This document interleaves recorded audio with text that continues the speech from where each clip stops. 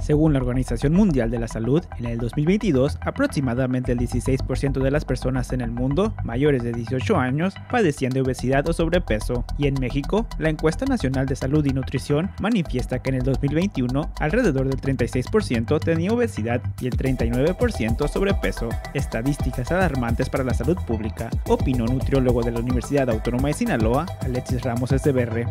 La obesidad la podríamos definir como una enfermedad crónica multifactorial que es caracterizada por una ganancia en exceso de tejido graso, que esto nos va a provocar eh, problemas tanto metabólicos, ortopédicos y además psicosociales. El especialista en nutrición de la Unidad de Bienestar Universitario indicó que esto es preocupante para la salud pública del país, ya que el costo de su tratamiento es elevado y existe un desabasto en el sistema de salud que permite atender a toda esta población. Con ello en mente, señaló que ya se están tomando medidas para la prevención de esta enfermedad. Como ejemplo, la SEP federal impulsará nuevamente el programa de salud escolar que elimina alimentos ultraprocesados y dañinos en las escuelas, impulsando la creación de hábitos saludables en niños y jóvenes, tal y como lo ha trabajado la Universidad Autónoma de Sinaloa desde la Unidad de Bienestar Universitario.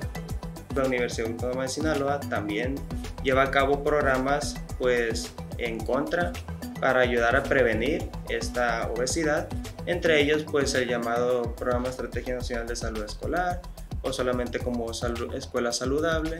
eh, y cualquier otro programa también que llevamos a cabo aquí en la Unidad de Bienestar Universitario, en la que nos encargamos de capacitar tanto a los eh, directivos, maestros, así como a los alumnos en materia de salud. Les, les decimos pues cómo tener una vida más saludable, un cambio de hábitos, entre otras cosas. Asimismo, con el fin de reducir estos niveles, recomendó seguir las guías nutricionales para una alimentación balanceada, reducir el consumo de comidas ultraprocesadas y bebidas azucaradas, practicar actividad física diaria, al igual que evitar comer en la calle e intentar hacerlo en casa. Universidad Autónoma de Sinaloa.